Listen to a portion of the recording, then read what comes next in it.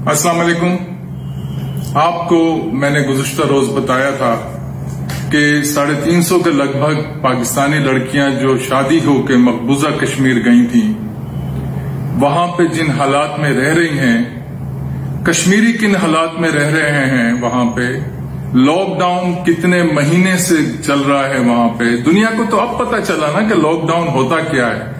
कश्मीरियों से और कश्मीर में रहने वाली पाकिस्तानी लड़कियों और औरतों से पूछो, उनके बच्चों से पूछो कि लॉकडाउन का मतलब क्या है। दुख भरी एक खबर मैंने आपको बताई थी कि अमरीन जोजा मंजूर शाह बांडीपुरा में मकबूजा कश्मीर के इंतकाल कर गई। अभी ये नहीं पता लग पाया कि इनको कोरोना था या हार्ट अटैक हुआ है।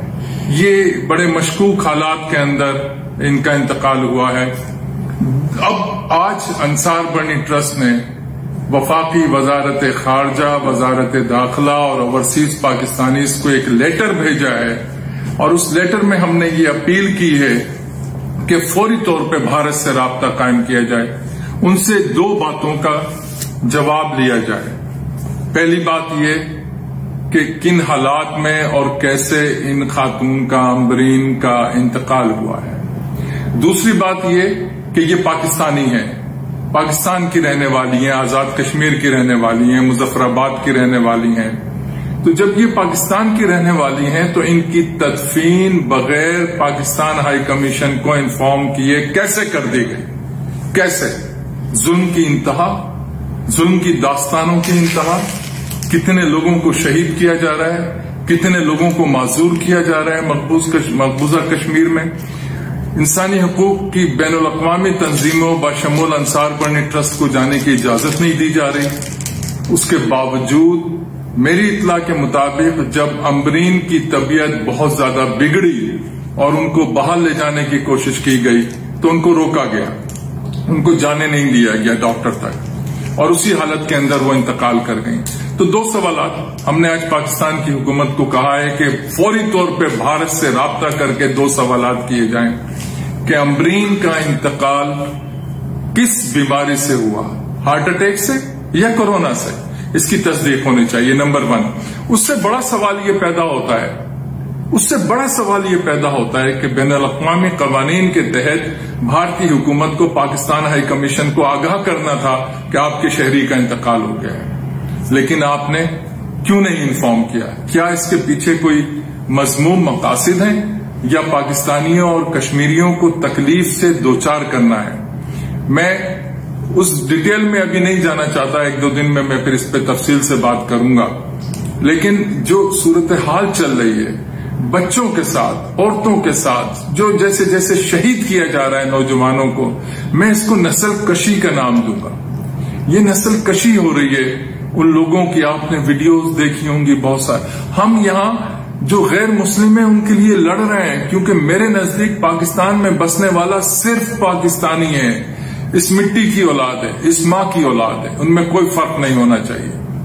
अंसार बर्नी ट्रस्ट ने कोरोना के हवाले से लॉकडाउन में जो सामान बांटा, जो गजाई अजनास बांटा, जो पीने के लिए शरबत बांटा, जो नाश्ते का सामान, हर चीज़ के अंदर हमने ये तफरीक नहीं रखा कि हम किसी गैर मुस्लिम को दे रहे हैं या पाकिस्तानी को आ, आ, मुस्लिम को दे रहे हैं। क्योंकि इंसानी हुकूक अल्लाह रब्बुल इज़्ज़त अल्लाह रब्बुल आलमीन और जिस नबी को मैं मानने वाला हूँ नबी अलैहिस्सलाम रहमत आलमीन है। लेकिन भारत से जिस किस्म की भयानक किस्म की वीडियोज़ आ रही हैं मुसलमानों को लटका के गोश्त काट के लोगों को बांटा जा रहा है उनके जिस्म के टुकड़े किए जा रहे अस्तफरुल्ला मेरा ख्याल ये है कि इस पर बैन अवी हुकूमतों को तवज्जो देनी चाहिए। और अमरीन के लिए एक मरतबा फिर, साढ़े तीन सौ के लगभग खातन हैं और उनके साथ उनके बच्चे हैं जो आज भी पाकिस्तानी और आज भी वो पाकिस्तानी के अलावा अब उनकी शहरियत जो है, वो दूर उनकी बदली नहीं जा सकती। उन्हें अब भारतीय शहरियत नहीं मिलेगी। जब उनको भारतीय शहरियत नहीं मिलेगी तो फिर या उनकी किस्मत में जेल होगा, या खुदा न खास्ता मौत होगी। अल्लाह ना करे। अल्लाह करे कि इन सब की हिफाजत हो। हमने हुकूमत से कहा है कि भारत को फौरी कहा जाए कि इन तमाम पाकिस्तानी औरतों और बच्चों को वापस भेजा जाए, क्योंकि ये आज भी पाकिस्तानी है। और अब इनको शहरियत नहीं मिलेगी। इनको ट्रैवलिंग डॉक्यूमेंट्स नहीं मिलेंगे। तो इनको वतन वापस भेज दिया जाए। और इनके शोहरों को, जो इनके शोहर हैं या बच्चों के बाप हैं, जो अपनी बीवियों के साथ रहना चाहते हैं उनको स्पाउस वीज़ा जारी कर दिया जाए ताकि वो जब चाहे आए, जब चाहे जाएँ, ये खातन जब चाहे आए, जब चाहे जाएँ।